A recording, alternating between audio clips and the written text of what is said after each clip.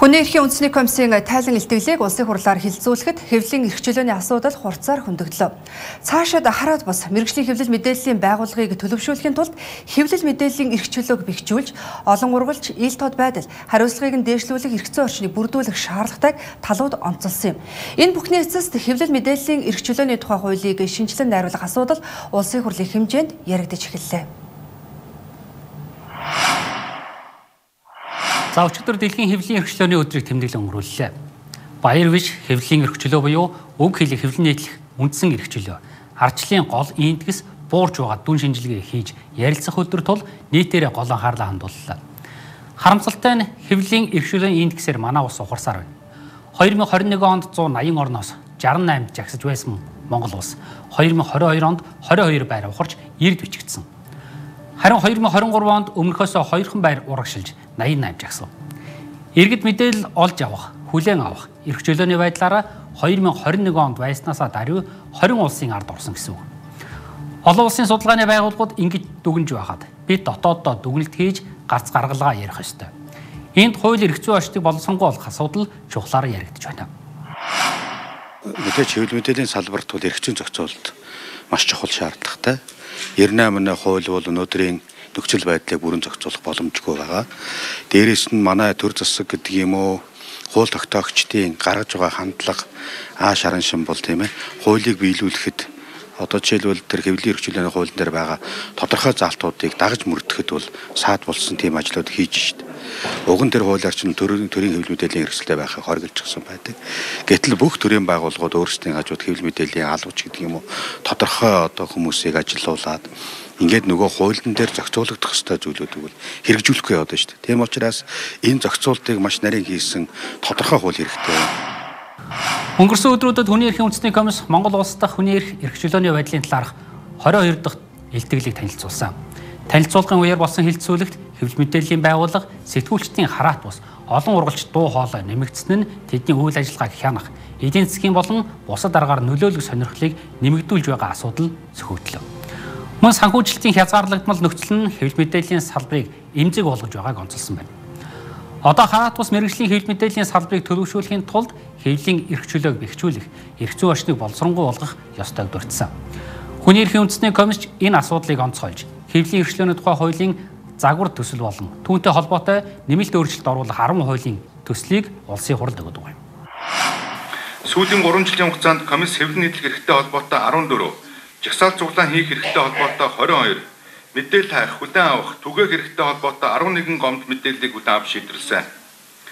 Комисс Монгол улс дахь хүний эрх хэрэгчлөөний байдлын талаар 22 дахь илтгэлтэй хэвлэл мэдээллийн эрхчлөөний асуудлыг хөндөж хараат бос мэрэгжлийн хэвлэл мэдээллийн байгууллагыг төлөвшүүлэх хэвлэл мэдээллийн эрхчлөөг бэхжүүлж олон ургалч ил тод байдал хариуцлагыг дээшлүүлэх эрх зүйн орчныг боловсронгуй болгох шаардлагатай гэж дүгнсэн.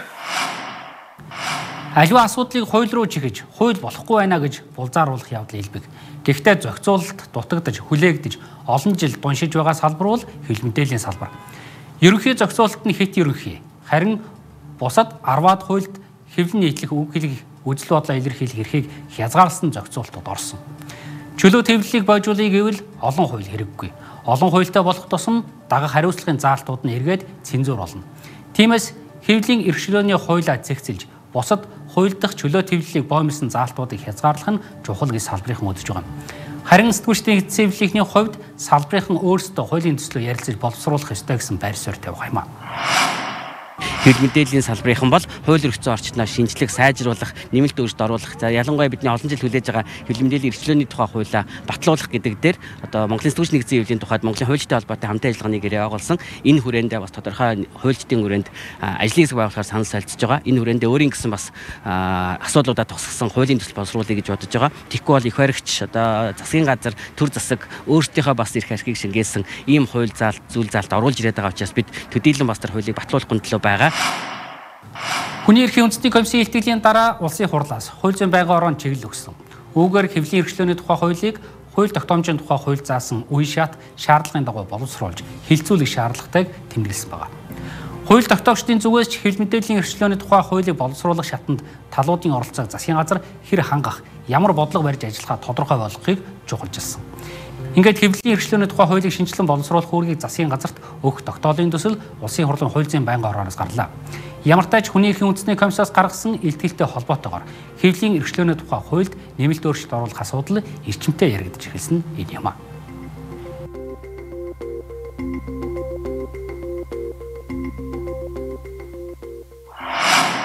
Одоо төрд хэвлэл мэдээллийн байгууллагагүй ийм хилцс агентлаг байхгүй бол одоо сургуулийн захиргаа хүртэл дэрэгдээ хэвлэл мэдээллийн ажилтнтай ийм хэвлэл мэдээллийн одоо бичил ийм байгууллага байгууллагад эхэлж байна.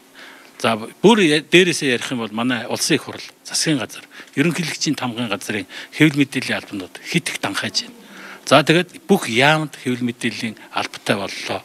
За аймагуд аймгийн иргэдийн хурл томоохон сумын төвүүд одоо орон нутагт бол аймгийн төвдөх сум гэж ярьдаг. Сумууд бол бүгд хэвлэл мэдээллийн ажилтнтай. За ингээд э, их хурлын гишүүд өөрийн хэвлэл мэдээллийн одоо бас э, итгэмжлэгдсэн хүнтэй. Ийм байдал ороод ирэхээр нөгөө хараат бас чөлөөт хэвлэл хаана байна? Орон зайн байхгүй болоод эхэлж байна л да.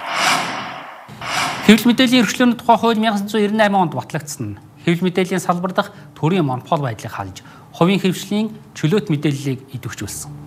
Гэхдээ өөрчлөгдөж байгаа нийгэм, эдийн засгийн орчин, техникийн боломжгээд олон зүйлийг харгалзан нэмэлт өөрчлөлт оруулах, шинжилэл хийх цаг болсон гэж ярьдаг. 1998 онд батлагдсан хэвлэл мэдээллийн эрхлөөний тухай хууль дөрвөн бүлэг 5 заалттай. Үүгээр хамгийн гол нь хэвлэл мэдээллийн эрх чөлөө, хэвлэл мэдээллийн хэрэгслийн чөлөөт байдлыг хязгаарласан хууль батлан гаргахыг хоригдсон.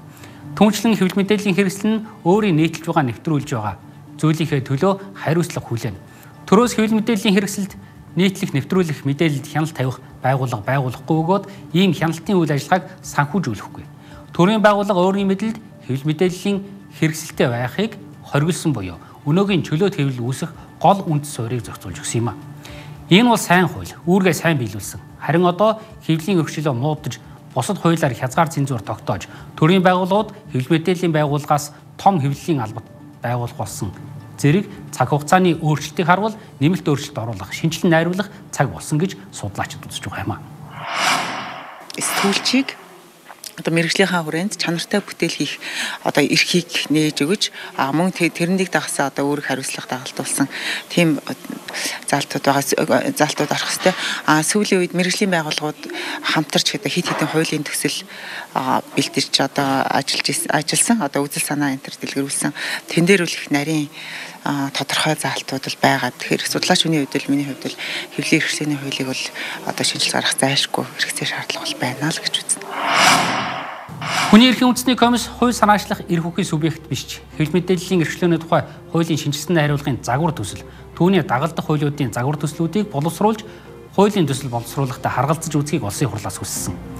Энэ төслийг анзаарч харвал 5 бүлэг 16 зүйлтэй. Энэ загвар төсөлд үзэл бодлоо илэрхийлэх, хэвлэл мэдээллийн эрх чөлөө, цензур, хэвлэл мэдээллийн байгууллагын редакцийн хараат ус байдал, мэдээллийн их сурвалжийн хамгаалалт, сэтгүүлчдийн эвлэлтэн нэгдэх эрх чөлөө, хүн хэвлэл мэдээлэл, мэдээллийн олон ургалч байдлыг хангах, тэтгэлэг төсөв, хэвлэл мэдээллийн хит төвлөрлөөс сэргийлэх, хэвлэл мэдээллийн байгууллагын ил тод байдал цаашлбал хэвлэл мэдээллийн байгууллагын хариуцлага, редакцийн эсрэг гомдол гарах их хэвлэл мэдээллийн өөрийн зохицуулт зэрэг дэвшилтэд санаанууд туссан байна.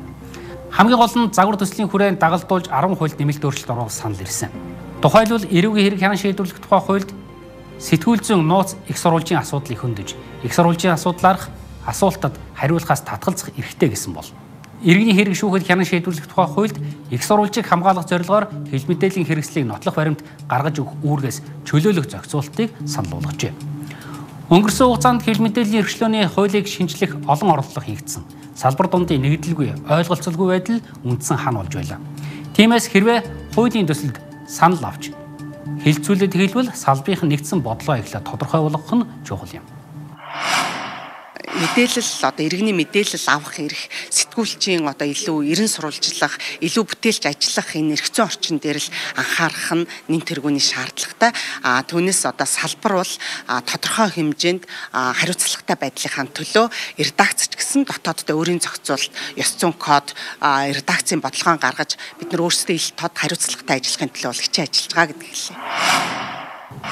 Ер нь хэвлэл мэдээллийн эрхлөөний хуулийг шинжилэн найруулж бусад хууль дахь цензурыг арилгах нь зөв гэдэг дээр салбарын санал нэгддэг. Гэхдээ яг ямар өөрчлөлт гэдэг дээр ойлголцол нэгдэл тун хангалтгүй байдаг юм а. Ямар тааж хэвлэн нийтлэх болон үг хэлэх үзэл бодлоо илэрхийлэхтэй холбоотой заалт олон хуульд орох тусам хязгаарлалт нэмэгдэж ирсэн юм. Тиймээс ерөнхий хуулинд нь сайжруулалт хийгээд төрөөс үг хэлэх үзэл бодлоо илэрхийлэх хэвлэн нийтлэхийн эсрэг зүйл заалт нэмж хуульчлахыг хаахыг олон хүн дэмжиж байна. Ийхүү 1998 оноос хойш удаан яригдсан, мэтгэлцсэн хэл мэдээллийн эрхчлөөний тухай хуулийг шинжилэн найруулах асуудал ийхүү хууль тогтоох байгууллагын төвшөнд шинээр яригдаж